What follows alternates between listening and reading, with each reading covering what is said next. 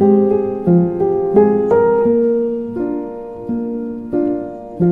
around me are familiar faces, worn out places, worn out faces, bright and early for their daily race.